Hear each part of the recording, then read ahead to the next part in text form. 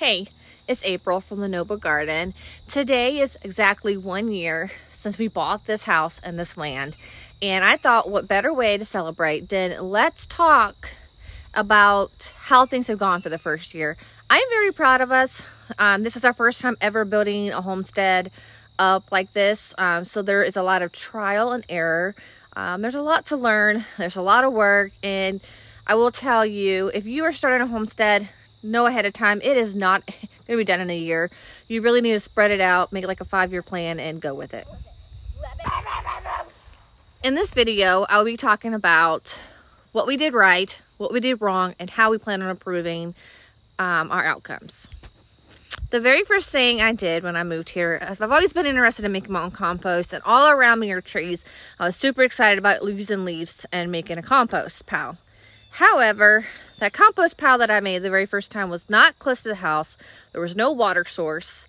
Um, the only way I was going to get water was if I was to carry buckets of water and pour water on it. I learned very quickly that that was a bad idea. Uh, we did not water it. We didn't keep adding to it. It really did not do anything for us. Um, so we decided to make compost um, area it's close to our house, it's close to our garden, and it has an excellent water source. It's also close to the chickens, so we add the chicken bedding to it. Um, it's, and we also have a lawnmower that we push and gather the grass, and it has worked a whole lot better. Let me show you what I'm talking about. These are now our compost piles. I'm not going to go in a whole lot of detail with this. I do have video up about them. But this right here, guys, is what I'm talking about. This was growth. This was learning this works better. Um, we're adding to it, it's decomposing, and we actually have plans to make two more as well. The other thing on our homestead is, is that we have the chickens in one location, and my plan is to move the chickens around so that they can graze and poop and, you know, make good soil, um, add to the earth. However, my first coop that we built um, was built more for our lifestyle back when we lived on um, one 1.33 acres in a neighborhood, you know, kind of thing. I was homesteading from that. So we will be building a coop that will better fees us to move it around. Um, the only thing I will tell you that we did right is this electrical fence. This electrical fence has been amazing at, um, when used properly, it has protected our chickens. There's a couple times that we didn't use it properly, and yes, we did lose chickens. Um, and this is our first time out here, so we hadn't lost chickens to predators before then. However, the other thing I'll tell you is make sure your coop is secured. Um, snakes will kill chickens, even though you're told they won't, because they will if they are in the way for um, eggs, because they want to eat all the eggs. And if the chickens guard in the eggs, then the snake will kill the chicken. We learned that this year. Um, raccoons can open doors, and animals can squeeze through smaller holes than you think they can. So just make sure you're protecting your chickens. We also learned to give shade to our chickens. Um, just having chickens out here for the first year has been a learning experience. I'm pretty sure we didn't learn it all, and we're still gonna make mistakes with the chickens. Um, but we have a better grasp on it than we did before. Here is a quick view of our babies. We do have baby chicks in the house that we are also learning from, and we'll talk about that next. We did put an automatic door. Um, that has been a lifesaver because now we don't have to come out in the mornings and open the door or come at night and close the door. I will tell you something that we are doing wrong still, and with our new coop, we'll be um, making sure. But our doors are warped. We cannot keep them closed. Half the times we had to put, like that door on the left is completely um, screwed in because it's not functional door anymore. This door on the right is the only one that opens now. And we have to put bricks in front of it all the time to keep it completely closed, hoping that an animal can't get in. I do feel more comfortable as long as electrical fence is working that an animal's not going to get in there. now, the baby chicks are in my house in oh, a God. bin. Um, and they're quickly outgrowing that bin we learned we probably do need to build ourselves a brooder, a real brooder, before we do the next round of baby chicks because our setup right now is not really working 100%. I mean, it's working, we're making it work, but there's got to be a better, easier way. We do not have a barn, we're not having any more animals.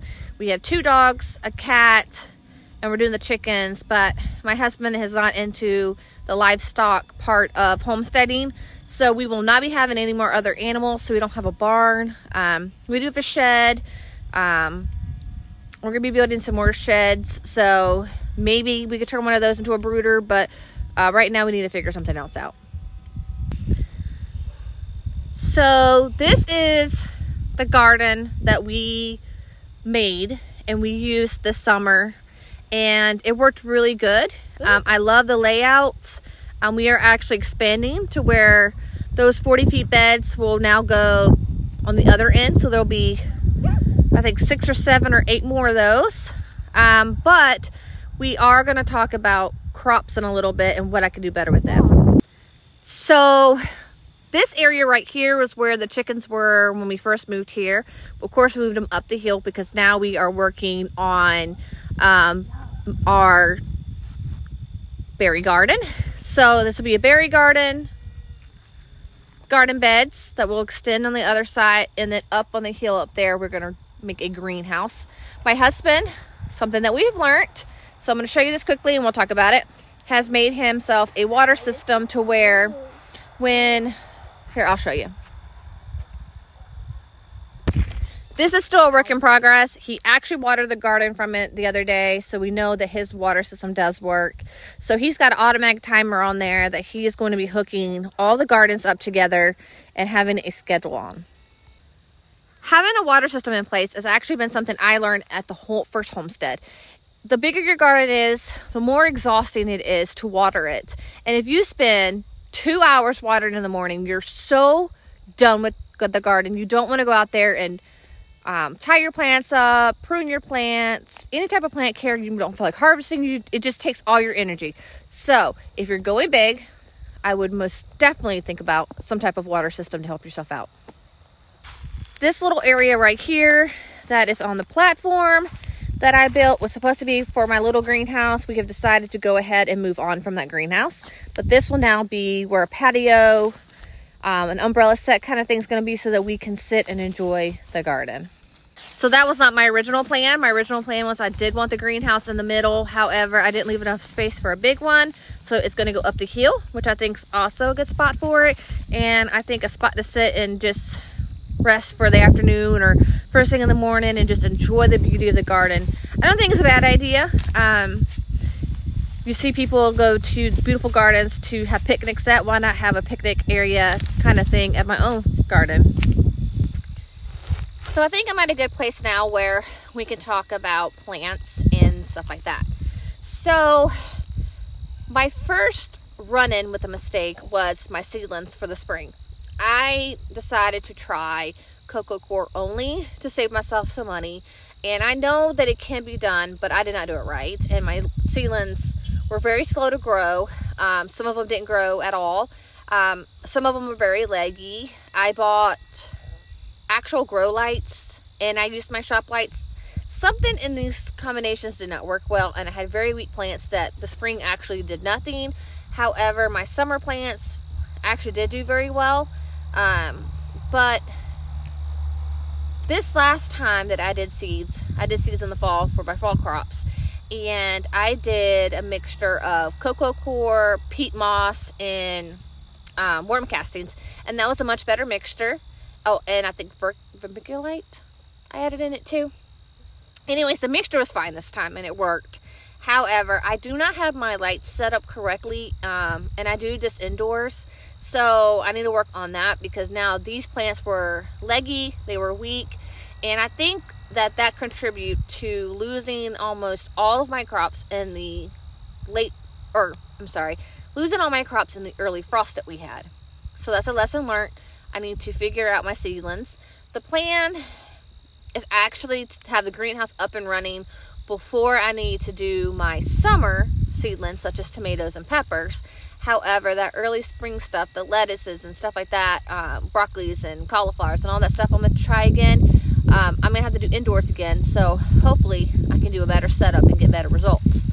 Um, the other thing is is that do your research on soil then who you're getting it from and know what you're looking at so the guy that I bought soil from it was very good soil very very good soil However, it was not completely broken down and I think it was too rich and some of my stuff struggled. Well, honestly, most of it struggled.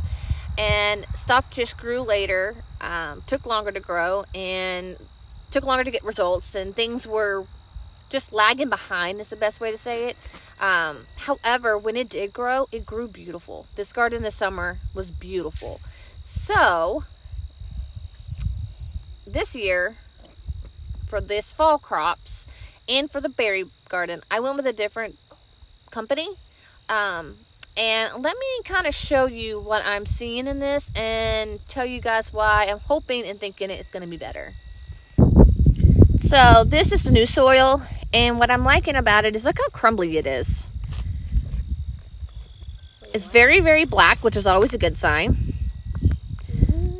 But I think they have some sand in this, which a little bit of sand, not completely sandy, but a little bit of sand goes a long way because it helps with drainage.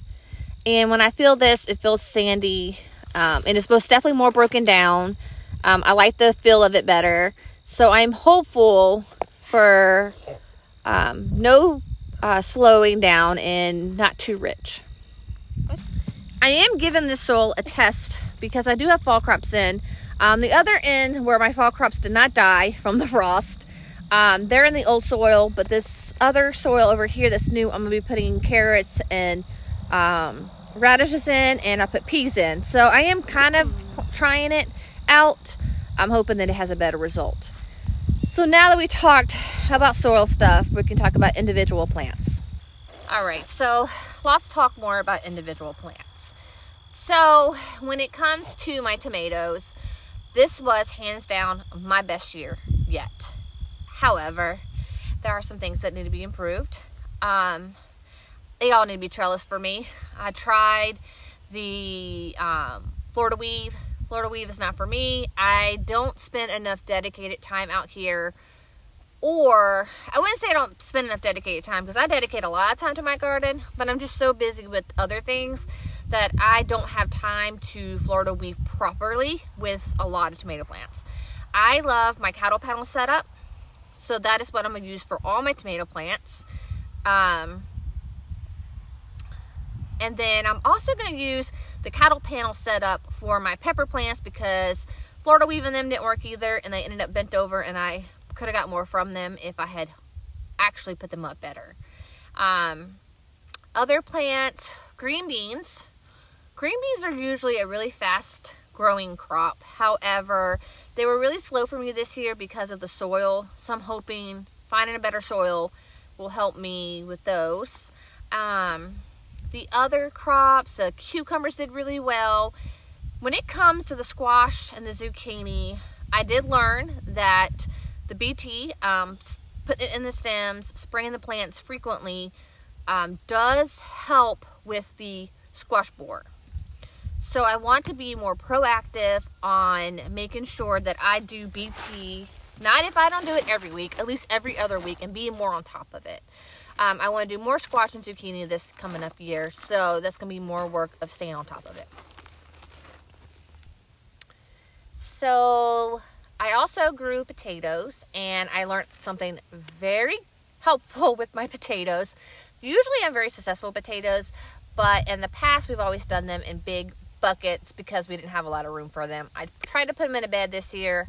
I will put them in another bed, um, however, if they are calling for freezing temperatures, they need to be covered because we just had so much damage um, to them that they never really recovered. Um, so a lesson learned to cover your um, potato plants if it's going to frost. Um, the other potato that we grew was sweet potatoes. And sweet potatoes, there's the only thing I'm going to do different is I'm actually going to dedicate a whole 40 foot bed and let it grow in the bed is on the outside of the bed because I learned that every place that it touches it actually they grow they root and grow their own and it's pretty cool what sweet potatoes can do and if you just let them go on their own. Um, I did harvest them a little early so I'll give them a little bit more time. Um, one thing I actually plan on doing is grabbing them as I want to eat them and then letting them grow more until the frost they are not frost hardy so you do need to put, uh, pick sweet potatoes up before frost. Um, that was a lesson I learned as well because we had frost one section that was still left. Um, what else, guys? I have corn and me do not agree with each other. I will try corn again, but I think corn had a lot of trouble with the true rich of the soil, and so I will be working on that. Uh, stop. Something else I wanted to improve on is being more on a schedule with for preventatives. And when I say preventatives, I mean I love to organic garden. I'm not going to change that, but I do use essential oils and organic products to um, help with bugs and diseases. And I want to be more on top of my neem oil sprays and more um, on my preventative preventative copper sprays. Um, I did nematodes um, late spring. I've done it early fall. Plan on doing it again in the um, early of the spring, and continue to update you guys on what how I feel the nematodes are doing for me. But I want to stay more on top of bug pest control, pick eggs better, stuff like that to also help um, make my garden last longer. Um, but yeah, guys, I just there's just a lot of things you learn um, with the homestead, especially when it's new to you um, in a new area because we did decide to move three and a half hours away from where we originally lived. I don't regret that decision. I love it here. Um, the small community that we have around us, are they're really seem to be good people. Um, a good area to raise your kids. It's very quiet out here. We don't get bothered. Um, we just keep building on and anyone who comes out and sees this, they're really amazed with what we're doing. I'm amazed with what we're doing. I didn't know we had this in us. Um, I thank you guys so much for watching my videos. I hope that I can continue to improve. I hope that I can continue to um, show you guys enough to where I'm an inspiration to you guys just as much as you guys are inspiration to me. Um, I just thank you guys for watching, and I hope you enjoy my one year anniversary talk because I know I talked more than anything else. We don't really have anything in the garden amazing to show you right now because the summer crops are done and they're over. We had a frost and it killed off anything else that was left. Um, I have a few kales over here beside me. I have uh, things that will overwinter like lavender. Sorry, guys. One thing about garden like this, you're gonna have bugs that fly in your hair and scare the crap out of you. Anyways, that was funny. Yes, that was. That bug scared me. really did. I heard a buzz and it I, landed in I, my hair. I, I, really thought it was a stinger. Me too. Um, we still have bees around. We have seen some of them, and I've actually been seeing like yellow jackets. They could be hornets. I'm not quite sure what they are, but yeah, we've seen some of those around us too. And I guess Napa here wants some attention. so speaking of a homestead, and everything. This girl right here, look at the camera. Hey, pretty girl. Hi. has learned a lot too in the last year. Um, in our other land that we had, we lived in a neighborhood. You open the door, she's gone. She had to be on a leash, or she had to be in a fenced back in yard, or she would just run away practically. Well, this girl right here has learned to follow us around, and she's learned to. We don't even have any type of fence at all but for some reason she like knows the boundaries of our land and she's done so good at staying close by.